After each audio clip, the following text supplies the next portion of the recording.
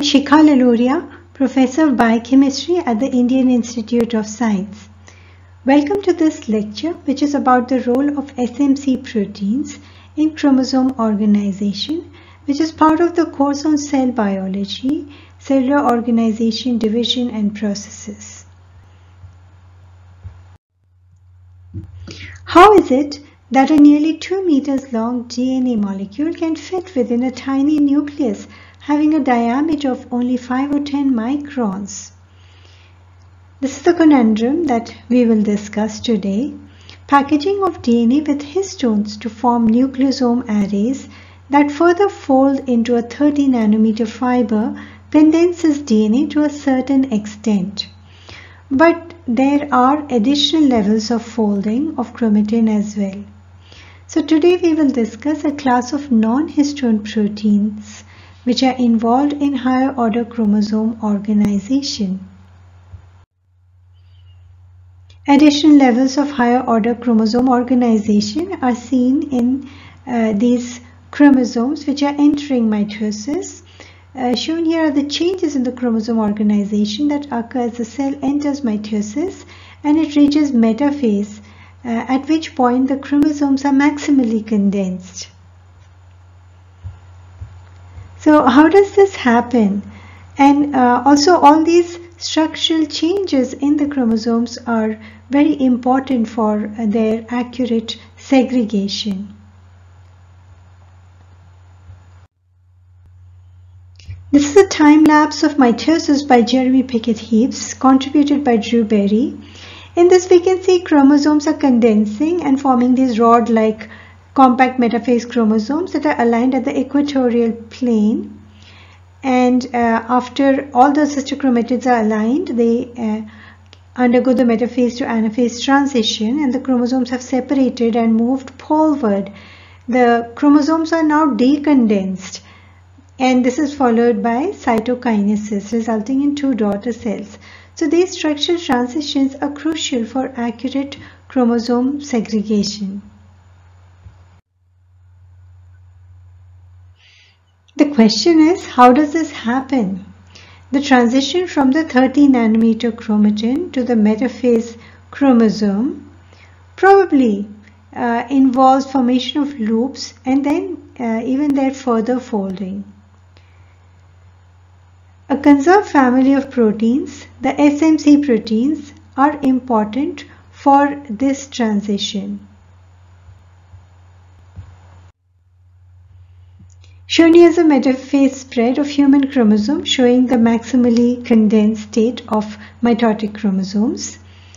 Note the cohesion between the sister chromatids uh, that is along their length they appear to be paired and this cohesion is more intimate or close at the primary constriction region uh, which is where the centromere is located. Also note the high level of condensation that has occurred in these chromosomes to convert the sister chromatids into this egg-shaped rod-like configuration. Both of these structural attributes, condensation as well as sister chromatid cohesion, are dependent on SMC protein complexes and both of them are very important for accurate segregation of chromosomes during mitosis. Shown here is a schematic of a typical SMC protein complex. Now SMC stands for structural maintenance of chromosomes. And these proteins are conserved in eukaryotes as well as prokaryotes. Uh, they are very important in terms of function. For example, in yeast, they are essential for viability of the cells. They have a ATP binding head domain a flexible coiled coil region and a hinge region. And uh, these proteins, they dimerize with another SMC partner to usually form a heterodimer and they dimerize at the hinge region. The head domains of these two SMC proteins are bridged by a non-SMC kleisin subunit. Uh, which is called MCD1 or SCC1 or even RAD21 in budding yeast. Non-SMC subunits here uh, are of course SCC1, MCD1 or RAD21, this kleisin subunit and also the SCC3 or SA proteins. There are other regulatory factors associated with cohesin such as WAPL uh, 1 and PDS5 and this complex and also the other SMC complexes are also regulated by post-translational modifications of various subunits uh, such as acetylation in case of cohesin by ECO1, sumoylation and phosphorylation. The SMC protein complexes bind DNA. They associate with DNA and they are involved in many important DNA transactions due to the inherent DNA binding and tethering abilities.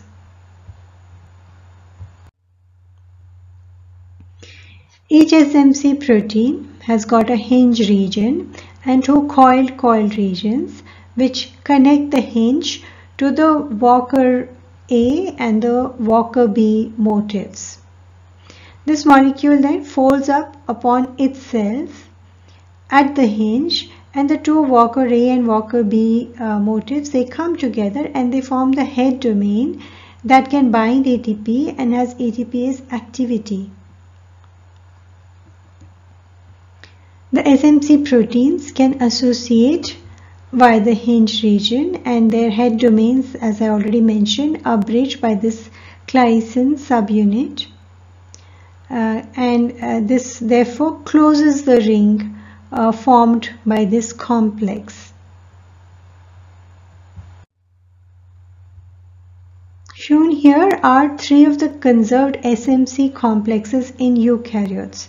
The cohesin complex, the condensin complex and the as yet unnamed SMC56 complex. A of the SMC monomer is shown at the top that folds and it associates uh, with another SMC at the hinge in the complex. So each of the SMC complexes has got two different SMC proteins forming a heterodimer and additional non-SMC subunits. A cohesin has got two main uh, non-SMC subunits, condensin has three, whereas the SMC56 complex has got six non-SMC subunits. Cohesin was first identified based on its requirement for the process of sister-chromatid cohesion in budding yeast mitosis. Budding yeast mutants which were defected in MCD1, the kleisin subunit of cohesin, showed cohesion as well as condensation defects by fluorescent in situ hybridization analysis of budding yeast chromosomes. Now we know that one of its main roles is to hold the two sister chromatids together until uh, the metaphase to the anaphase transition. At the metaphase to anaphase transition, MCD1, this purple subunit shown here, is cleaved by an enzyme named separase. And uh, this cleavage opens up the ring. And the two sister chromatids can move apart they can come apart this results in the dissolution of sister chromatid cohesion and uh, in anaphase. Now the two sister chromatids they can move apart. They were already attached to microtubules coming from opposite poles. So uh, they move towards the poles as well. And thus chromosome segregation happens.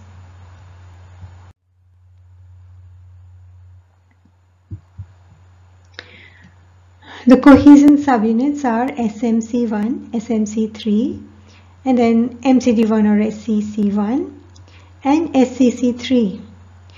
All the subunits are essential and conserved Uh, this complex is of course very important for sister chromatid cohesion but it also has roles in mitotic chromosome condensation, in DNA double strand break repair, in gene expression and also in replication. This complex subunits are stimulated by MMS21 or NSE2 which is a subunit of the SMC5-6 complex. Defects in the cohesin subunits or their loading factors can result in severe developmental defects in humans, highlighting the importance of its function even in multicellular organisms in development. So when cohesin was first discovered, we asked the question, where does cohesin bind to chromosomes? Because this was not known at all. For this, we employed a technique termed chromatin immunoprecipitation or CHIP, in which one of the components of cohesin, MCD1, was immunoprecipitated from sheared formaldehyde cross-linked chromatin from yeast cells.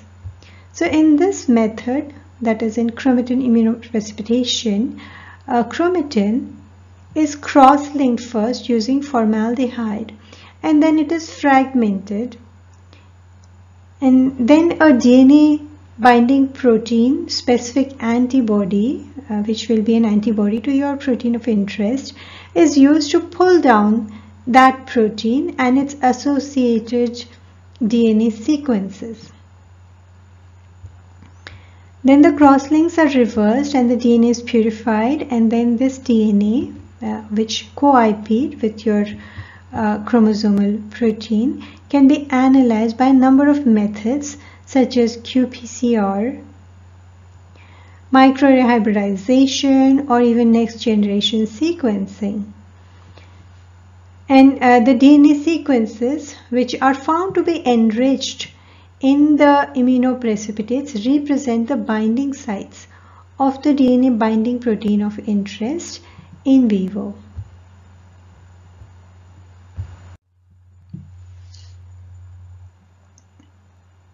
So to identify the sequences to which cohesin binds in yeast cells, um, one of the components of cohesin, MCD1, was immunoprecipitated from sheared formaldehyde cross-linked chromatin. Uh, by the way, this experiment was done by me uh, several years ago.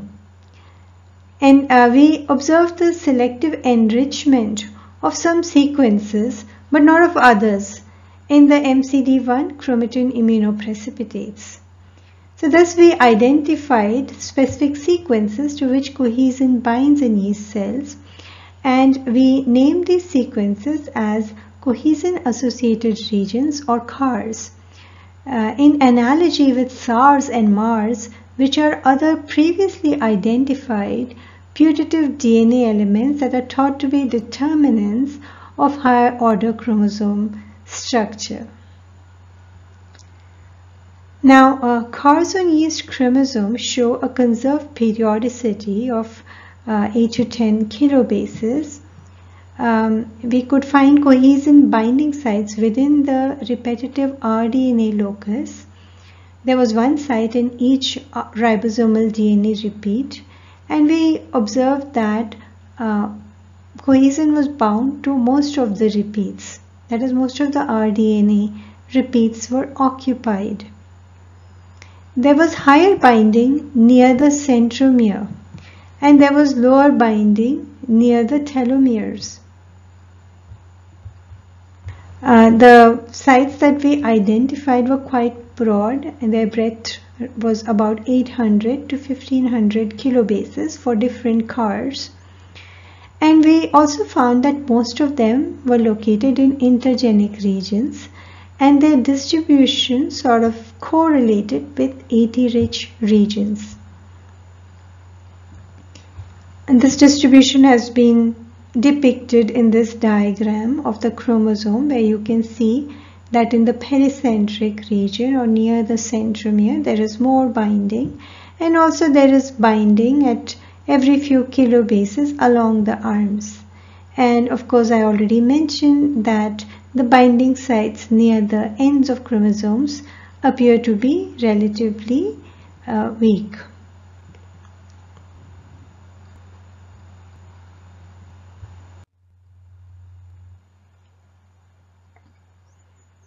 This is one of the current models of how the cohesin ring might hold the two sister chromatids together.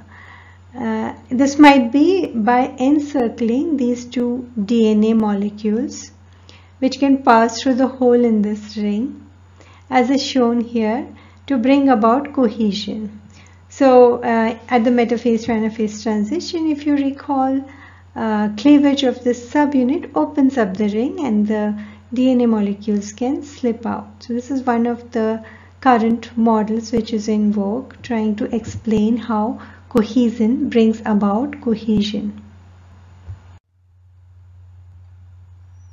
This image shows the localization of cohesin. Cohesin is shown in yellow on the condensed chromosomes which are depicted in red. And uh, cohesin here in this uh, figure, it seems to have an actual localization on the chromosome which is consistent with its known functions uh, in cohesion and condensation.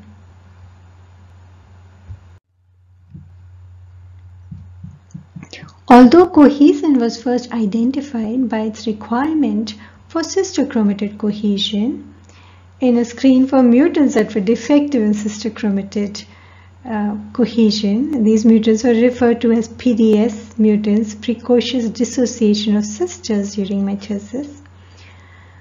We now know that cohesin has several other functions as well. Cohesin is also important for mitotic chromosome condensation. Uh, it's also required for DNA double strand break repair by homologous recombination It's also important for DNA replication. In fact, cohesin was shown to be speeding up the progression of the replication fork. Cohesin is also important for gene expression and for silencing barrier activity. Silencing barriers are sequences that can limit the spread of silencing coming from a silencer or silencing initiator sequence and uh, these sequences indeed are present in eukaryotic cells and it has been found that their uh, barrier activity or boundary activity is dependent on cohesin.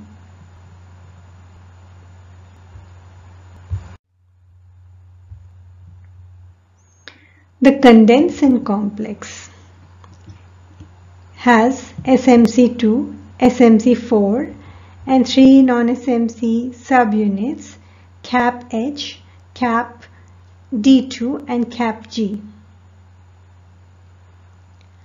All the subunits again in yeast at least are essential and also they are conserved.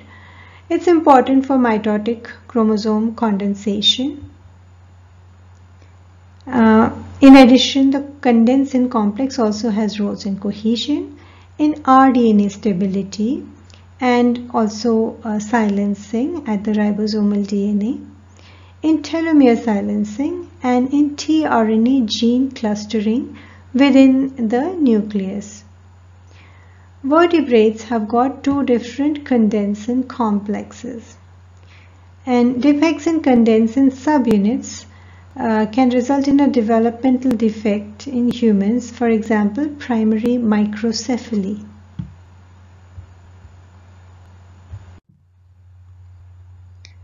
So condensin has been shown to be required not only for condensation but also cohesion, rDNA stability, ribosomal DNA silencing, telomere silencing, tRNA gene clustering within the nucleus. I think we already mentioned this. Condensation and resolution of sister chromatids depend on the condensin complex. Like cohesin, condensin may also form a ring-like structure and bring about intramolecular interactions um, in a DNA molecule forming a loop to help in condensation.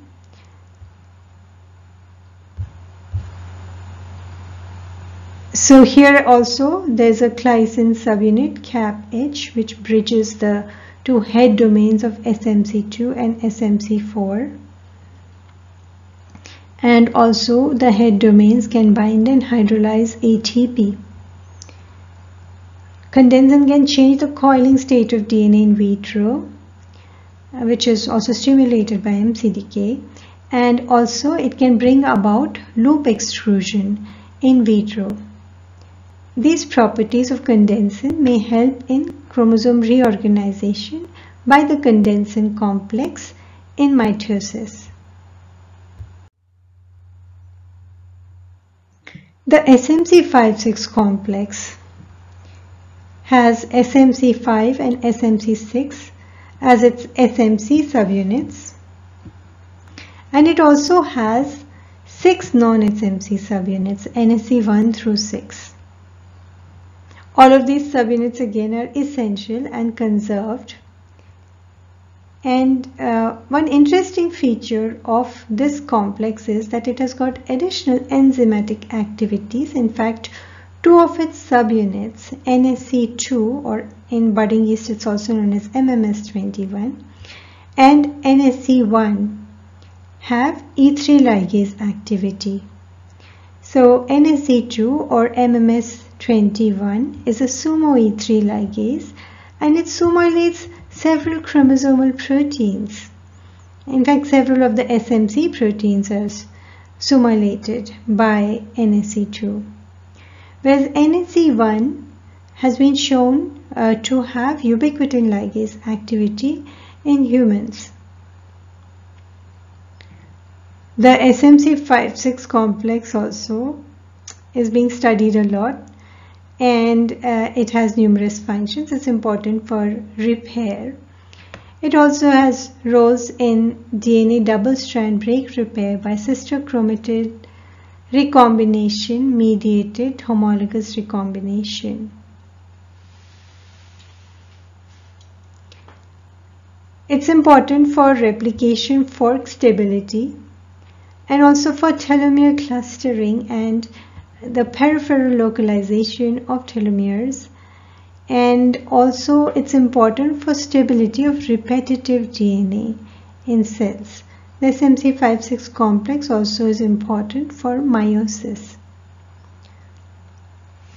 Nevertheless, a lot more still needs to be learned about this intriguing complex, the SMC56 complex, and also uh, a lot needs to be still learned about the SMC family of proteins and a lot of scientists including my own lab are working towards solving these problems. Thank you.